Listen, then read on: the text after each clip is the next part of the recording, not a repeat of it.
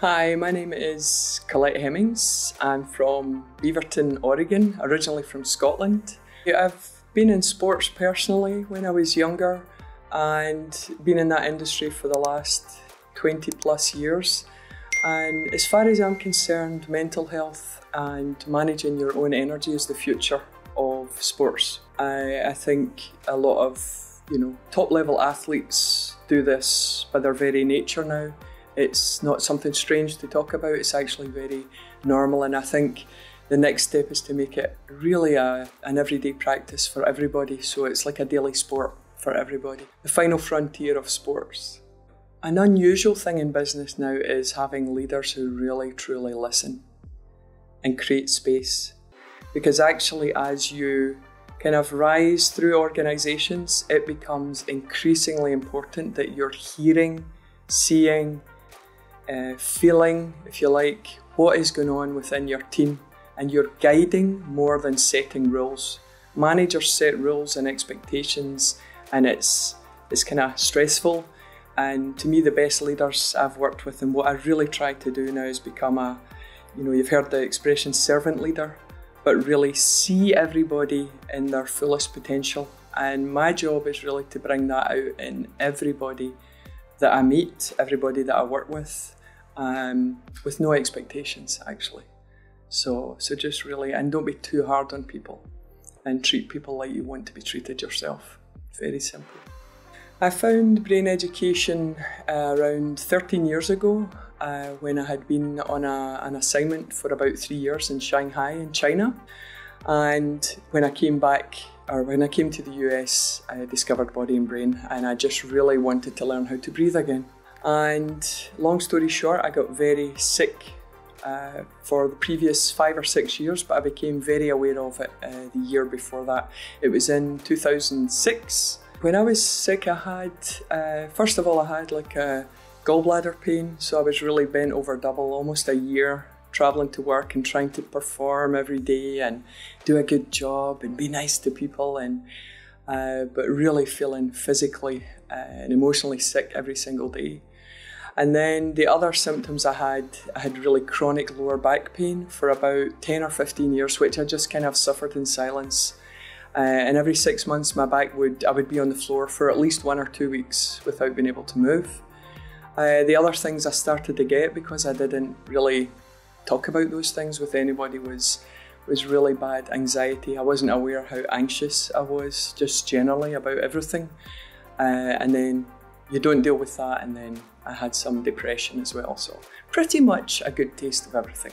After brain education, I would say my uh, I think there's no before and after, but what I would say was there's a gradual unraveling and rebuilding. So I always look at my life as you're unraveling the past behaviours that don't serve you anymore, and you're also building your future path. And that's the part that really changed for me in brain education is I really feel like I'm creating my own future for the rest of my life. I become, you know, really doing all the things I want to do that open up my mind uh, and really create a better society. So I'm very confident in uh, following those things now rather than following the voices of others. That's been the biggest thing for me. And then managing uh, emotions, managing things like anger, uh, managing things like, especially in my case, like anxiety, where I, you know, I could never have sat in front of a camera and talked in front of large groups of people.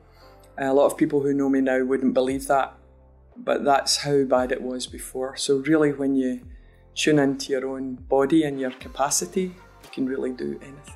The thing that helps me most with anxiety is really the main principles. Keeping your body in the state of so water up, fire down. Well, first of all, I didn't really know what that was. And I think until you feel it in your body, you can't really describe what it is. And water up, fire down is kind of a cool head and a warm belly and that seems really simple, but the exercises all lead you to create this heat in the right area. So instead of being hot headed and you're angry and frustrated, bringing that hot energy into your core. And then the cool head creates more focus and a discipline of the mind. And that for me was whenever I feel the anxiety creeping in now and I feel it well ahead, I, I can really manage it well and I'll do like body tapping or intestine exercises just quietly. I don't need to do it around people, but I just have some simple exercises that really help me manage anxiety. Uh, the routine that I do every morning, I do what I've realised is shorter is better for me. So the very short exercises like Sleeping Dragon, where you lie on the floor and just your whole body weight, you focus on your core area and just raise your body for like one minute and then one and a half minutes. For me to do one minute and then one minute 10 and 20 was really challenging because one minute became two minutes became. So just a small increase every day on things like sleeping dragon the plank I couldn't do at all before brain education. So things like holding full body weight I'm six foot tall was really challenging. Uh, so I practice all the things that I found difficult I practice every day now to really strengthen those muscles that I haven't used before so the most uh, hopefully inspirational thing I can say is I'm the kind of person I now realise that never gives up. So learn the principles of your body, learn how to manage your emotions, really never give up, and have your own dream and vision.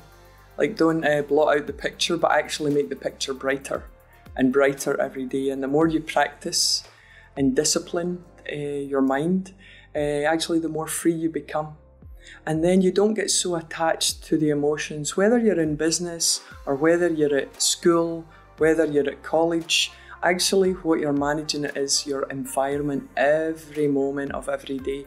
And when you can get to that place through the body and mind practice and breathing well, then you can really manage everything, yeah, including like family relationships and things. So just never give up, just do it.